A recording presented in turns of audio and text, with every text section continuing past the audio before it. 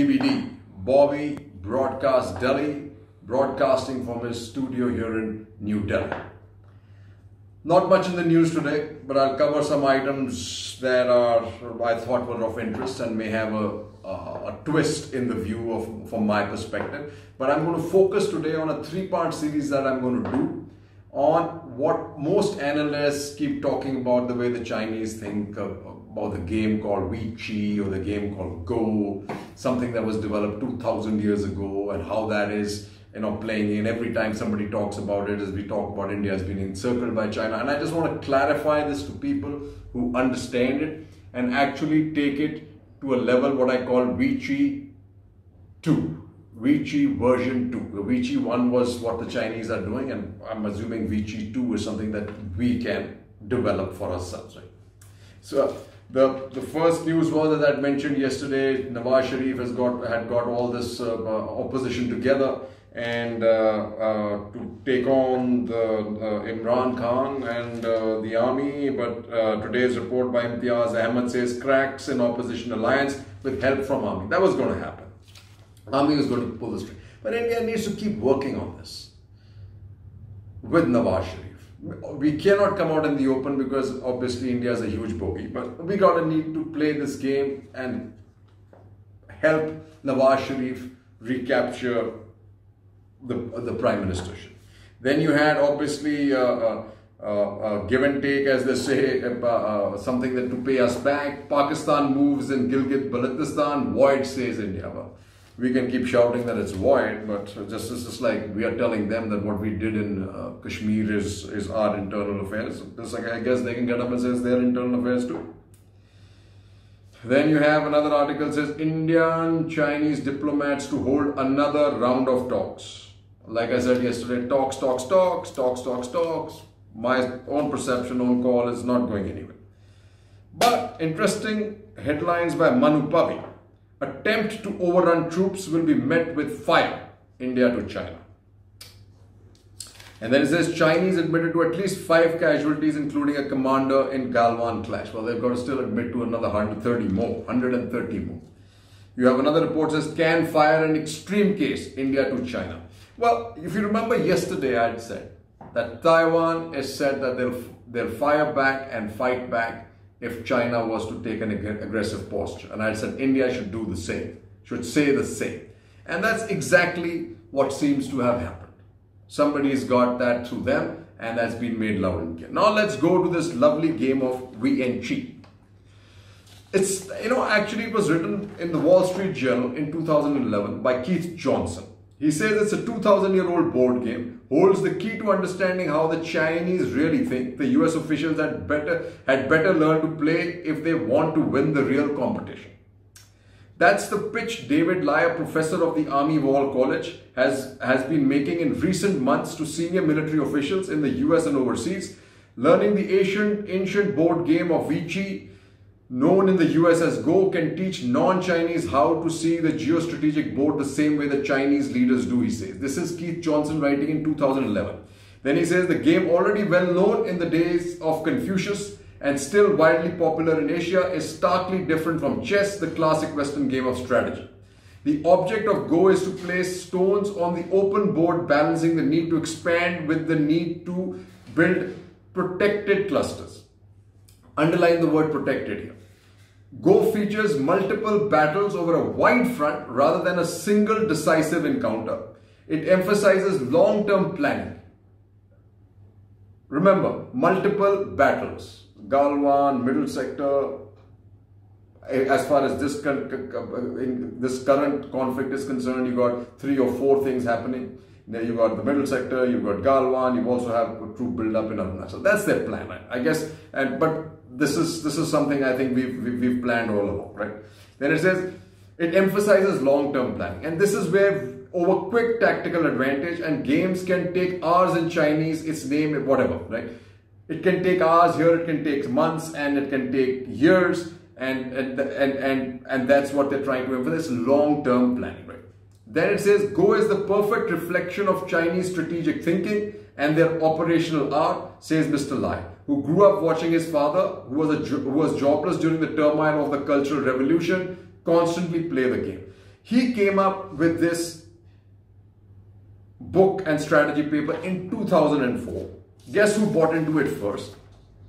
Mr. Lai's paper caught the attention not only of the then bosses at the Air Force Air University in Alabama, but of course Secretary of State Henry Kissinger, who quickly became a convert to his way of thinking. He says, in the first days of the Korean conflict, for example, President Harry Truman sent US troops to South Korea and the US Navy to the Taiwan Strait. He had, in Chinese says uh, uh, Mr. Kissinger writes, placed two stones on the Vichy board, both of which menaced Chinese with the dreaded encirclement. Thus, despite being war-weary and impoverished, China felt the need to confront the US directly. Here, let me just say something. The two heights we've captured in Kailash Hills is, you can kind of draw a parallel. They are seeing threats of encirclement. Expect retaliation, even though they are at a disadvantage, if this is if this holds true, right? Then he says, but a strategy paper published later last December by the Central Committee of the Chinese Communist Party offers a different view. The anti-piracy operations can help China to uh, subtly gain a foothold in the vital region. China can make use of the situation to expand the military presence in Africa. And that's what's been happening. And here's another one. One of Mr. Lai's first fans was Air Force General Steve Lorenz, formerly the head of Air University, where Mr. Lai then taught. General Lorenz heard one of his lectures in the 2005 uh, summon, summoned him for a full briefing about the insights that Go could offer. However, as I feel, and as somebody then subsequently writes, he's saying comparing national strategic thought to popular sports and games is an oversimplification. I agree there. Then he says, Go is very useful device for analyzing Chinese strategy, but let's not overdo it. Exactly my point. Don't overdo it. And this is said by James Holmes, an expert on Chinese strategy and professor at the Naval War College. And finally, you have a statement which says he notes that China's amateurish diplomatic blunders in recent years, including bullying neighbors and trying to push other navies out of international waters, represent a departure from the patient and subtle tenets of Go. And folks, that is the crux of the matter now too, right? And let's just see, what did we start with, right? When we talk about Vichy. We started with a red here in Maldives when we had Yameen. You had red in Sri Lanka as what you say, which is, uh, everybody talks about Rajapaksa. You obviously have a huge red here, which is Pakistan. Now with Oli, you had a you have a huge Nepal here. Uh, you had a huge red in Myanmar and a possibility, and this is what they had. And there was always a ch chance, and there's always a chance that what I call the blue, which is Bangladesh, right, turning into something that becomes part of this stone placement on this white map, right? Over time, I'll explain how this has changed and how Vichy version 2 comes into play. Just please look at these, these, these, these, these, these circles. Some have now changed from red to what I call bluish amber. They're not necessarily red anymore. So let's just go down the ones that I think are somewhat of a worry. First one is Sri Lanka. Articles that came out quite regularly. One first was Aditi Phadnis on 4th, 4th August. India worry prospects of a brute majority for Rajapaksa. Then you came up Rajapaksa clan set for landslide win. Modi first to congratulate Mahinda for his victory. Obviously trying to make a play. Then you had a report Rajapaksa cements grip, grip on power after huge poll win. Rajapaksa in office, India hopes to gain from its outreach. Uh, but then, you know, you then had an article, Lankan workers stop work at, to protest Indian pro project. And this is after he took over you immediately know China's hand in this and Rajapaksa's message to India. Then you have this really nice uh, article by G. Parthasarathy. He says, India must grow its interest in Sri Lanka. What he says is, and this is important, to remember Sri Lanka cannot climb itself out of its economic debris right now without the help of the Western powers. And here is what he says is very critical.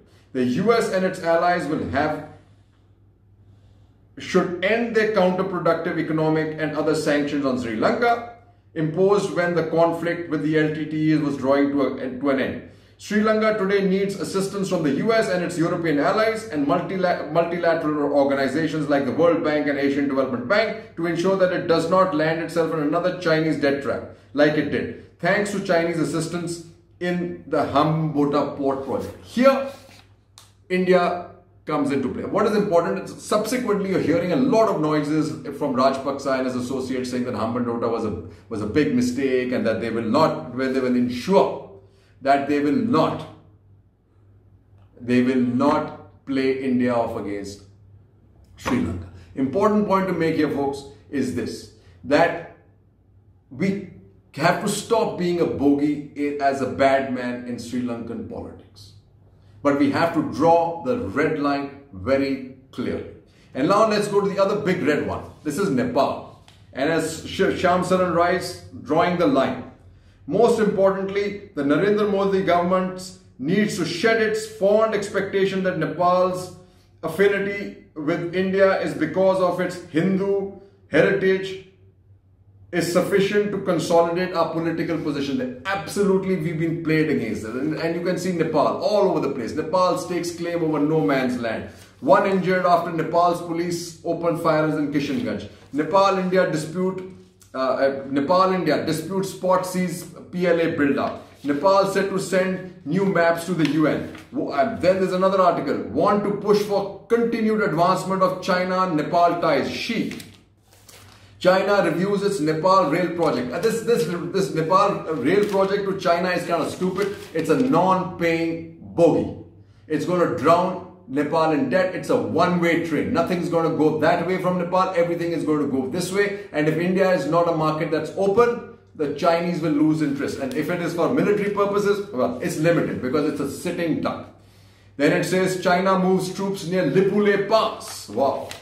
Then you have national policy. Nepal government is promising money, land and houses along with Nepalese citizenship, most of which is believed to be funded by China.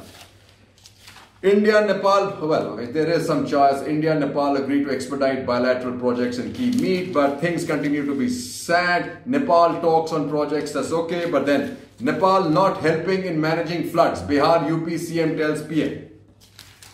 Then you have, but the interesting part is going to be the Gurkha.